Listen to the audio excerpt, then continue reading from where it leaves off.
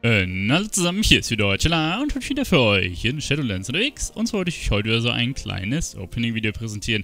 Heute geht es um ein paar Paragon-Kisten, die wir öffnen wollen. Und zwar insgesamt wieder fünf aus dem Patch 9.1.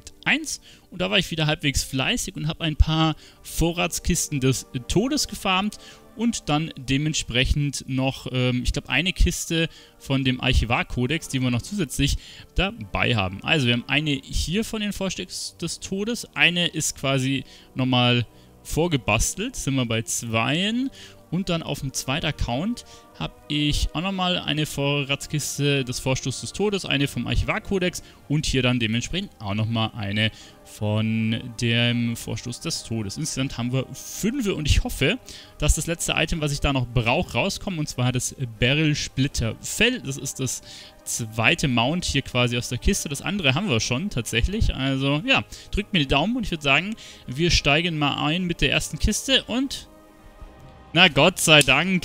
Mann, und ich habe nochmal äh, vier Kisten mehr gefarmt, ne? Da ist das Mount drin. Gut, die anderen Kisten hätte ich mir jetzt sparen können, aber okay, äh, sei es drum. Da haben wir es. Ich bin auf jeden Fall sehr, sehr froh. Jetzt können wir, äh, ne, just for fun, die anderen auch noch aufmachen. Vielleicht sind noch ein paar Pets drin, die wir noch ein bisschen zu Gold machen können. Ne, sieht eher schlecht aus. Hier haben wir noch eine Courtier-Ausrüstung. Und was haben wir dann da mit dem zweiten Account noch? Schauen wir hier auch mal rein. Ja, ein bisschen Courtier-Ausrüstung. Portalsteine, die brauchen wir natürlich auch nicht. Und hier in der letzten Kiste, was haben wir da noch so drin? Auch nochmal, also mount-technisch schaut es da schlecht aus. Jetzt würde ich sagen, lernen wir das gleich mal.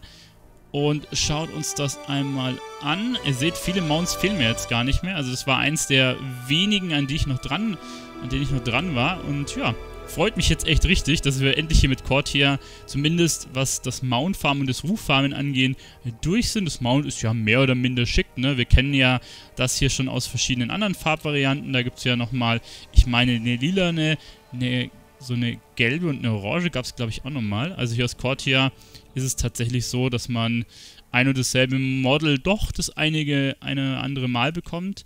Schauen wir mal, Cortia und hier seht ihr, da hatten wir das gleiche in Gelb, in Rot oder Orange, je nachdem, wie man es betiteln möchte.